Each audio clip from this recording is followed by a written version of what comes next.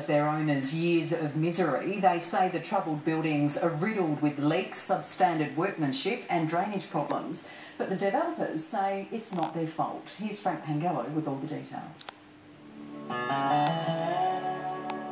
They sold us on a lifestyle, um, a maintenance free lifestyle. It was a dream, leave your thongs at the door um, and relax. They were sold a dream by the sea by one of Adelaide's biggest building companies, Commercial and General. We're so excited. It's going to be a, a great investment for us and we'd get some lovely holidays as well as a property that we could sell in the future. But now their piece of paradise at South Shores Commercial and General's $40 million luxury holiday home development at Normanville is, in their view, a disaster. It's a nightmare for us. We're living it every day. It's the big structural stuff that is the real concern for us. And the big stuff that you are concerned with is? The water leakage, water coming in to the villa, into the ceilings, into the light fittings. When it rains at South Shores, it pours through their roofs, windows, doors, ceilings, light fittings and onto timber floors. Well, this looks like a serious problem, Warren. It is, it is. This is the uh, fixed version as well. Fixed?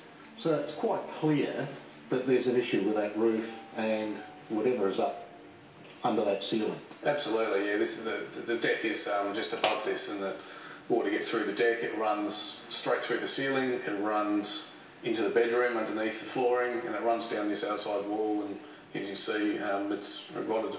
Warren and Judy Hilden have been complaining to the builders for six years. It's what they can't see behind the walls that really worries them. It's basically rotted away all this skirting board here. Greg and Susan Blackall line their floor with newspapers to soak up seeping water. And it's just a nightmare whenever we come down because, you know, we end up mopping up water, finding issues, and it's just distressing the whole time. At Jim and Julie Dolan's villa, the damage is obvious on the inside. Well, the window frames uh, have water stains on them, Julie? Yeah, they're pretty bad. Um, and you can see the water seeping all the way up, and it's also come out onto the floor, so that's all going to have to be lifted at some point. And on the outside, where there are large patches of mould under the pitched roof. And it's right round every side of the villa. If you look over there, you can see the same mould happening and we've no idea what's causing that. We don't know what damage it's doing inside. And what's that pipe there? That's the overflow for the um, box gutter that they put in some time ago. The overflow? But yeah. It's just going to crash down onto your tank. Straight on top of the water tank. At least for these owners, substandard work seems to be the trademark. As you can see here, they've obviously punched a hole in the wall and just done a dodgy repair on it. Look at this, Frank doesn't comply, you know, it's unsafe.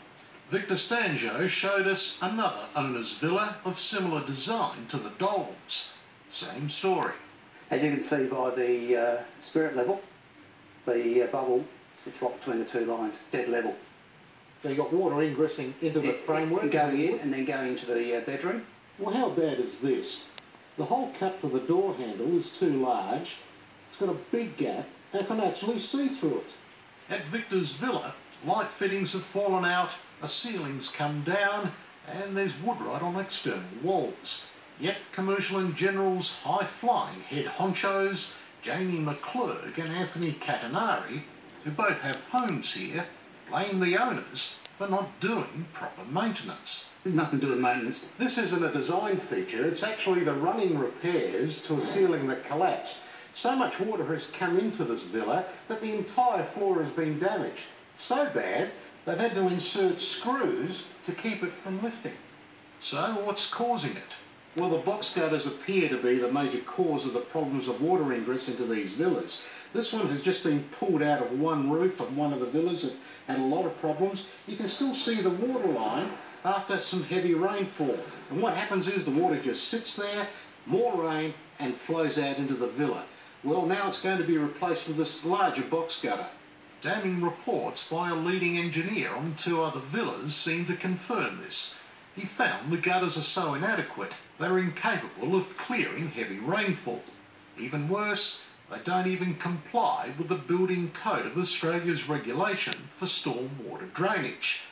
While another report we've cited also found evidence of subsidence. It's a design issue. These these places all have the same design, and they all have the same problems. One angry owner invited us to see workers rip out and replace his box gutter at a personal cost of $5,000. While we were there, we could see the telltale signs of trouble on neighbouring villas which have also experienced leaks. When you sell a property, you have to declare if you know something's wrong, and we can't. So we can't sell the property. Um, the value is dropping. Commercial and General Projects built 81 homes here using four designs. It's unclear just how many owners have problems or are willing to admit them, although some of them have now taken the company to court over the defects in their villas. Your son built these? My son what? Built these units. Oh, his company did, yeah. Yeah. Bit of a disaster, aren't they? Well, you say that, is it? Yeah, it is. This is Peter Catinari, himself a builder and father of C&G's Anthony Catinari. He's often doing maintenance work at the complex. The way I see it, uh, I believe is uh, maintenance. Uh. Maintenance?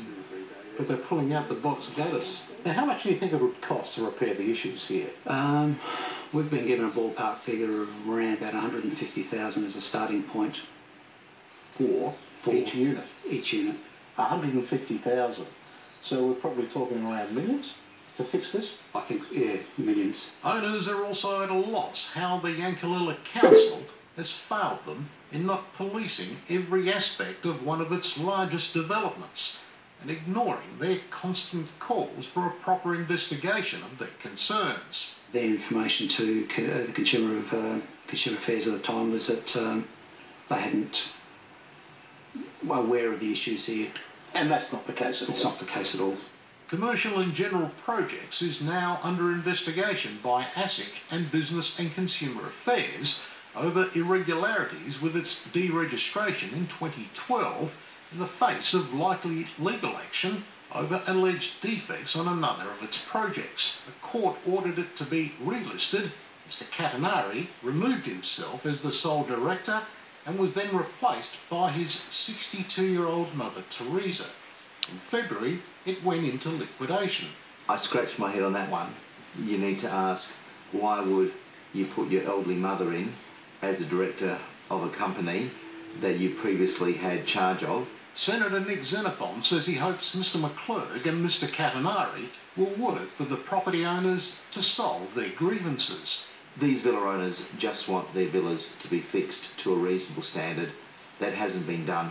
Mr McClurg has designs for the presidency of the Property Council. He lives in palatial splendour in this gated North Adelaide mansion he built. Mr Catinari constructed his imposing residence at Hyde Park. Presumably, there are no leaks or defects for them to worry about. Nor here, the new police building for the state government. It's their biggest project to date. They see this as a business transaction and they're just playing it like you know, business people. Um, but for us, it's really got, got very personal. I put a series of questions to both of them. Mr McClurg didn't respond, although we did receive a wordy three-page letter from Mr Catinari, denying the gutters used in their yellowfin design weren't suitable. However, no mention of the Emperor Villas owned by Victor's group. Again, he blames lack of maintenance by the owners, but has offered to pay for roofs to be checked and carry out any minor maintenance work. The weary owners say it's nothing they haven't heard before. A classic case of, uh, dodging and weaving, isn't it? And Commercial and General's lawyers say they reject the claims by owners and say the damage was caused by high rainfall events and storms and that the villas do comply with all building standards and codes. Frank Pangallo with that report. But coming up next, some irresistibly cute animal odd couples.